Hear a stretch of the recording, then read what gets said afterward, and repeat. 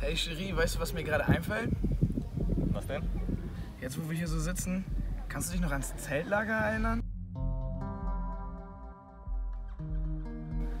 Da saßen wir auch mal hier so am Strand.